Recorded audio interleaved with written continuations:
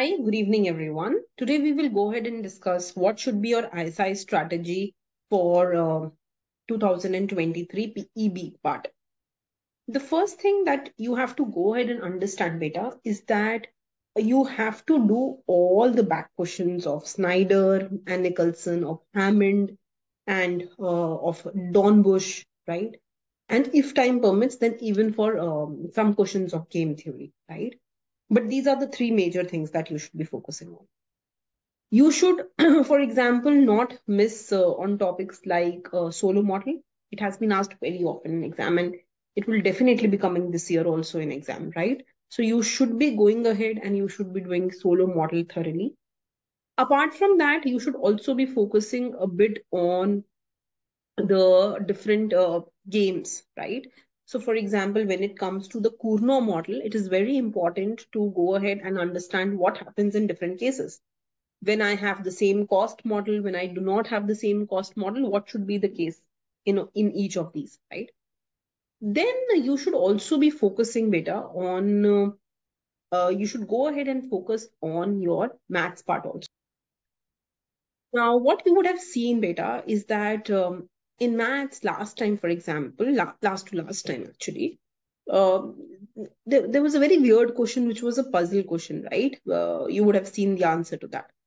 Now that puzzle question is not uh, anyway related to the maths that we do.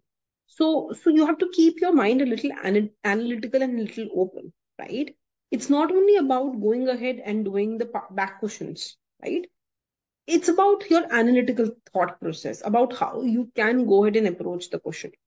A lot of times the professors are not interested in understanding whether you know the solution whether you end up with the right answer at the end or not. They are interested in understanding the process you went through to write that answer. The, the technique you applied the method you applied that is what they are interested in right?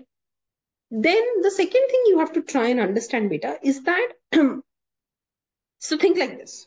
Think uh, about a, an ISI paper in which in the objective question, they have said question 1 to 5 is based on this information. You would have seen this in, in DSE a lot, right? In ISI also sometimes. So imagine if instead of giving like this, that the, the next five questions are based on this information, they compose it together and they give you as a PEB question. This is what they do, right? So the important part here is to do the objective questions very well. That automatically will, will help you with the uh, with the subjective questions also, right? So that's your next part. Then the third thing is you have to go ahead and try to present all the knowledge that you have about that question. Try to so sometimes um, sometimes when they give you a question, they may just miss out on the information uh, knowingly, right? So, for example, uh, let's say that uh, they, they are giving you a question about perfect competition and they gave you the price function and they did not give you about anything about uh, uh how the perfect competitive firm will be producing, right? Uh, so you have to understand that P has to be equal to MC. So the, the, the thing that I'm trying to say here is you have to deduce new information out of the question using your knowledge you have to say that okay if, if this is this then then this must hold true. Or okay if this is monopoly and you're giving me elasticity then using Lerner's index this is what comes and then this this should be mr or this should be mc so the aim here is for you to go ahead and present all the information that you have right? The next thing that you have to understand is that presentation matters. It's not like you keep uh, writing it in, in absurd ways and keep canceling out a proper presentation of the question is also important, or the answer sheet is also important. Now, how do you go about doing it? So, so you have to go ahead and also do all the assignments that have been given to you. So after every class, whatever assignment was given to you, whatever uh, problem sets were given to you in micro, in macro, in math, you're supposed to go ahead and do those also.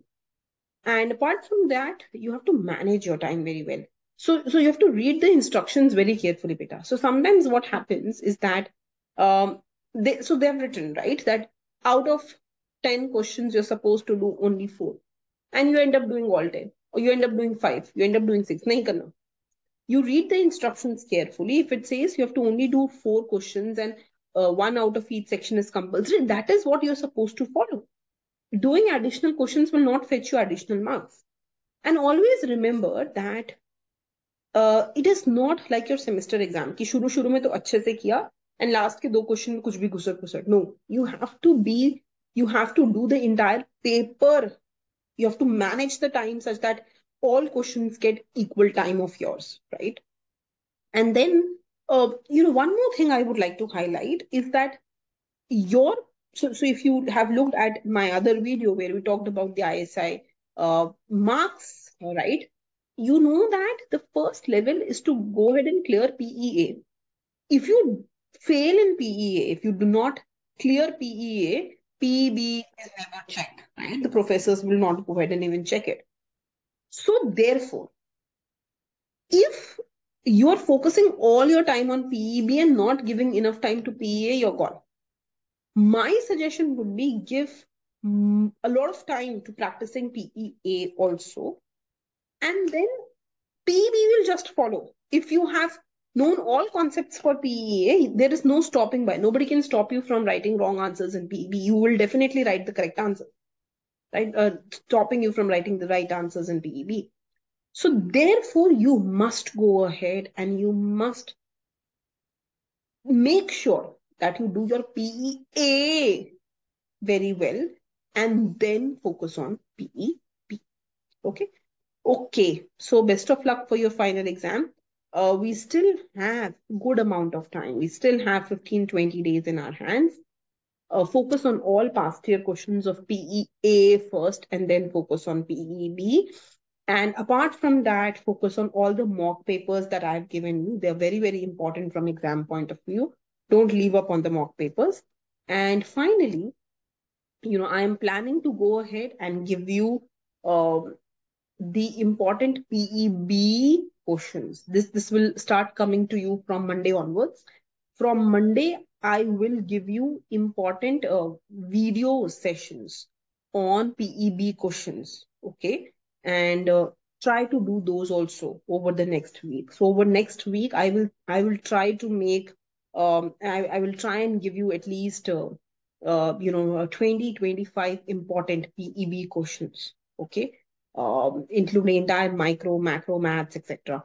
So try and do all of those before you go for your final exam. Go through the video, try to see my writing, how I have written the answers, how we are, you know, what kind of, um, uh, how do you, how do you write the answers? What is your presentation? And practice those also before your final exam. Okay, best of luck. Thank you.